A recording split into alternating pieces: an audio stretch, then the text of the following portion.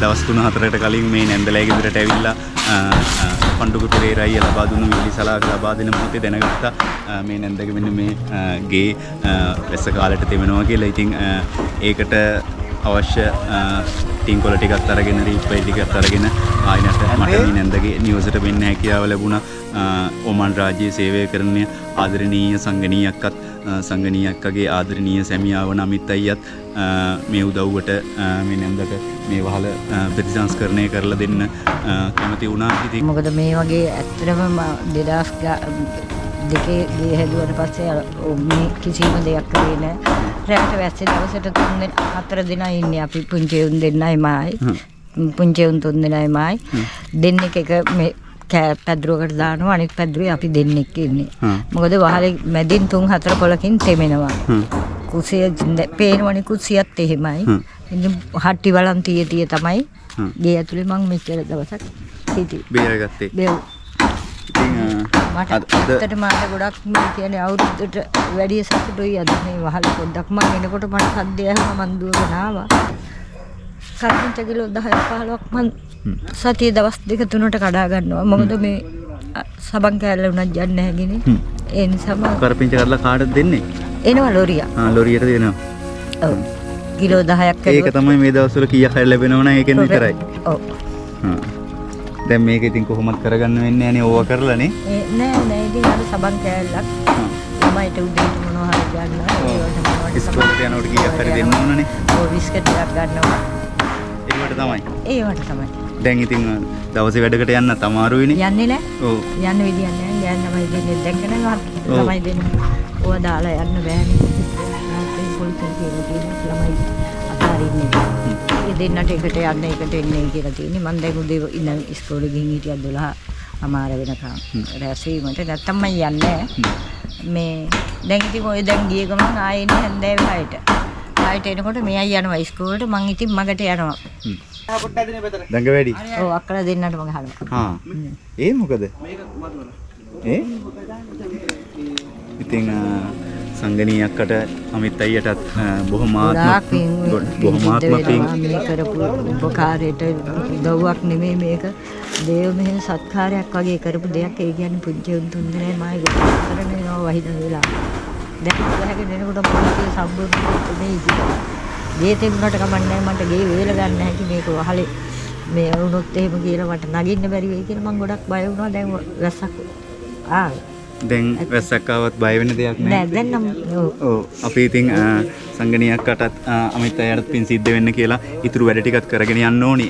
නැන්දත් ඉතින් පුළු පුළුවන් විදියට සහයෝගය දක්වනවා. ඉතින් මේ චූටි පැටියටත් ඒ විදියම තමයි හරි සතුටුයි. අපි නම් දැන් මෙන්න මේ පල්ලෙහා රීප් රීප් ඔක්කොම වගේ දිරලා තියෙන්නේ. පරාල දිරලා තියෙන්නේ ඒ ටිකක් දාලා ටින්කොල ටිකක් ගහන්න තියෙනවා මේ පැත්තේ. එහෙනම් නැන්ද බලන්න මෙච්චර ඉක්මනට එන්න හැකියාව ලැබෙයි කියලා හිතුවේ නෑ ඉතින්. ඒක නම් දෙයියෝ විහිං කරපු දෙයක් වගේ ඉච්චරකට ඇත්තටම සර්දාවෙන් කරන වැඩක් මේක නැත්තම් දවසෙන් දෙකෙන් කවදාවත් කිසිම කෙනෙක් කරන්නේ නැති වැඩක්ද තාම සතියක් නෑනේ මහත්තයා ඇවිල්ලා බලන්න නෑ ඉතින් ඒක ඇත්තටම මං වගේ එකතකට මං සමහරක් වෙලාවට හිතනවා මං ඇත්තටම කාලකන්ණි ගෑණියෙක් කියලා. ඒ කියන්නේ ළමයි තුන් දෙනෙක් එක මං ගොඩක් අසරණ වෙලා ඉන්නේ. ඒනොත් දැන් මේක ඊයේ පෙරේද අර කෝල් කරපු වෙලාවේ මං හිතුවා මං ඇත්තටම මට කරන්න තියෙන ලොකුම උපකාරය තමයි මේ සතියක් නැතු සතියක් ඇතුළේ මට මේ වැඩේ කරලා දුන්නේ. සෑහෙන්න පිං. ඒ නෝනටත් මහත්තයටත් ඒ නෝනටත් මහත්තයටයි ගොඩාක් ස්තුතියි දරුවෝ ඉන්නවනම් දරුවන්ටත් මේ වගේ දෙමව්පියෝ සහෝදරයන්ටත් හැදූ වැඩූ දෙමව්පියන්ටත් මේ කරපු උදව් උපකාරේ නිවන් දකින සසර දකින අතුරු ජාති ජාතිවත් කිසිම කරදරයක් නැතුව දුකක් නැතුව ජීවත් වෙන්න ලැබේවා කියලා මම ප්‍රාර්ථනා කරනවා. බොහොමාත්ම පින් කියලා අ, අපි ඉතුරු වැඩ ටිකත් පටන් ගන්නම් එහෙනම් අ, සංගණීයක් කලාගේ සංගණීයක්කට ඉතින් සංගණීයක්කත් අමිත් අයියත් මාව වි- පුදුමාකාර විදියට අ, විශ්වාස කරනවා. ඉතින් ඒ ඒ තරම් මට ආදරය කරනවා. ඉතින් අ, අපිත් එහෙමයි සංගණීයක්ක වගේම අමිත් අය වගේම තවත් අ, ලංකාවෙත් ලංකාවෙන් එපිට ඉන්න අ, ශ්‍රී ලාංකික ඔබත් අයිලන් ෆිෂන් YouTube නාලිකාවට අ, බොහොමාත්ම ආදරය කරනවා. ඉතින් අ, ඒක නිසාම තමයි අ, මේ වගේ අ, ආච්චි අම්මලා හොයාගෙන ඉක්මනට වෙන්න හැකියාව ලැබුණේ. එහෙනම් බුදු සරණයි දීපිහිටයි කියලා අ, අපි මේ වැඩ ටික පටන් ගන්න ඕනි. ආසම දැන් මේ සුද්ධ කරාට පස්සේ මේක කැඩුණාට පස්සේ මෙච්චර මීයෝ ඉන්න විත්තිය දැනගත්තේ. ආ මීයෝ පස් ඒ මේකට වෙන්නේ නැහැ නේ. ඇඩි මියන. මීයෝ ඉන්නවට. ඉරට සුද්ධ කරනවා අර කුඩියක් කරනවා. කුඩියට ඉතින් කුඩිය ඉරටු කොහොමද 1000 1000කට නෑ රුපියල් 40යි කිලෝ එක. ආ කිලෝ ගන්නට කිලෝ එක 40යි. ඉරටු කිලෝ 40යි ඔව්. කරමින්ච කිලෝ එකක් 5 රුපියල් 50යි. කරමිච්ච කිලෝ එකක් 50යි කොහෙන්ද මේ ළඟපාත ගෙවල් වලින් කඩන්නේ ආ බැද්ද යනවද බැද්ද ගිහිල්ලා කඩාගෙන ඉන්නේ බැද්ද ගිහිල්ලා කරපිංච කඩාගෙන ඇවිල්ලා පොළොවට කියන්නේ කරලා කොහෙන් කරපිංච කඩන් ආපුවා ඊයේ දුන්නා. ආ ඊයේ දුන්නා ඔව්. දැන් ආයෙ කඩන්නේ දාස්පති. දැන් දාස්පතින්දට ආයෙ කඩනවා. ආයෙ ඉරිදට ආයෙ කඩනවා.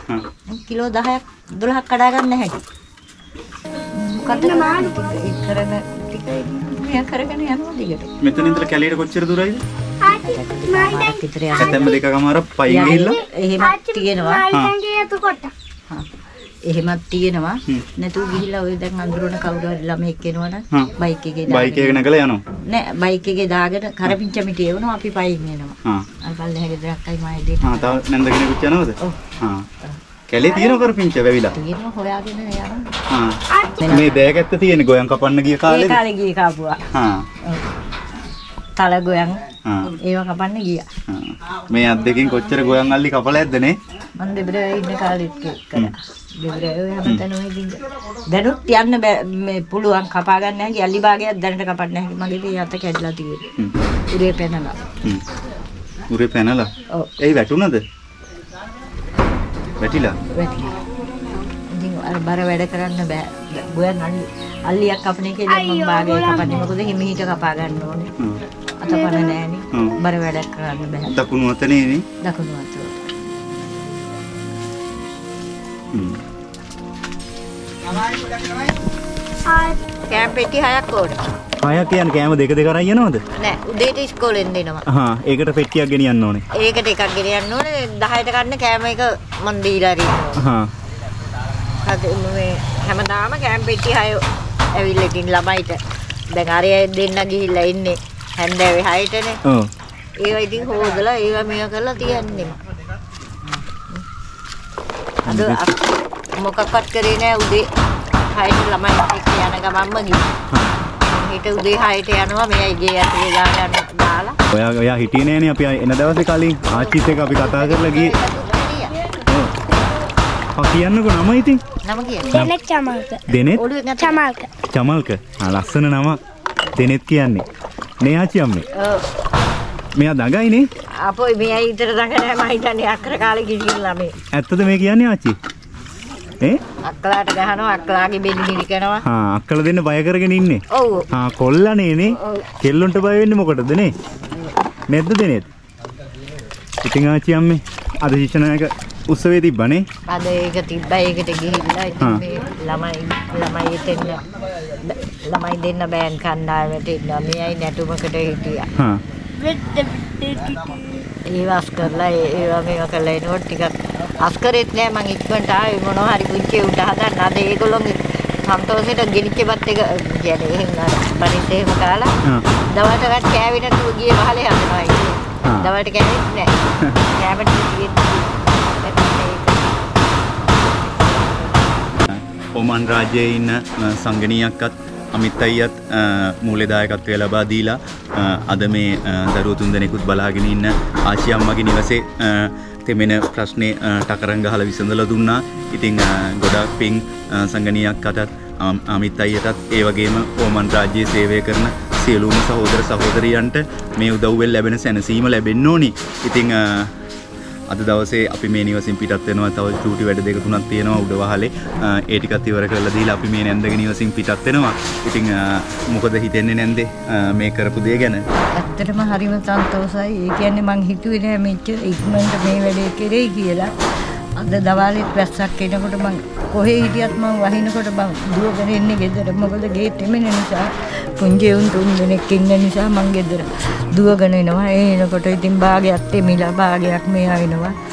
ඉතින් මං ඇත්තට වශයෙන්ම මං හිතුවේ නෑ මෙච්චර ඉක්මනට මේ සතිය ඇතුලේ මට කරගන්න ලැබේවි ඒ ලැබෙයි කියලා කරපු මේ උදව්ව උපකාරයට අනන්ත જાතියක් මිස්ලාට පින් සිද්ධ වෙනවා මේක කියලා මග පාදලා දුන්නේ පසන්ටත් ඒ වගේම අනිවාර්ය දවස් ගාණක් මං ස්තුති වෙනවා මෙච්චර. මට මේ කරපු උදව්ව මට කවදාවත් මම හිතුවේ නෑ මට වහල් නොතබී ඉන්න මම මේ මැරෙන දවස් දෙකටවත් මට ඉන්න ලැබෙයි කියලා මං හිතුවේ නෑ. මට නිදහසේ ඉන්න හැකි දැන් මගේ මේ ළමයි තුන් දෙනා නිදාගත්තාම මං අතෙන්න මෙතෙන්න අදිනවා. රැට වහිනකොට අතෙන්න මුල්වටයි මෙතන මුල්වටයි අදිනවා ළමයි තුන් දෙනා. මමත් එළි වෙනකම් වගේ ළමයි තුන් දෙනා ළඟ ඒ අය ළඟ ටිකක් මේ අය ළඟ ටිකක් ඉන්නවා. ඒකෙන් අද ඉඳන් මට නිදා ගන්නත් ඇහැකි ළමයි තුන් දෙනාත් එක තැන තියාගෙන ඉන්න හැකි. මේ කරපු උපකාරයට අනන්ත જાතියක් පින් සිද්ධ වෙනවා. සියලු දෙනාට පවුලේ ඉන්න දෙමව්පියන්ට හැදු වැඩු දෙමව්පියන්ටත් පින් සිද්ධ වෙනවා. මේ වගේ උදව්වක් උපකාරයක් කරපු එකට. බොහොම මේ ස්තුති වෙනවා සියලු දෙවියන්ට පවර්ණේ ගොඩාක්ම පින් අනේ මේ කරපු උදව්වට මට ඉතිං සංගනීයක්කත් අමිත් අයත් වගේ පිරිසුදු හදවත් තියෙන ලස්සන මිනිස්සු මේ ලෝකෙ තව තවත් පහළ වේවා ඉක්මනටම දුප්පත්කම මේ රටින් නැති වෙලා යන යුගයක් උදා වේවා කියලත් අ, අද අපි මේ ගෙදරින් සමුගන්නවා. ඉතින් අපිට වෙන කියන්න දෙයක් නැහැ. ඉතින් ගොඩාක් ස්තුතියි. තමයි ඉතින් මට ඒ කියන්නේ මගේ ළමයි තුන් දෙනාටත්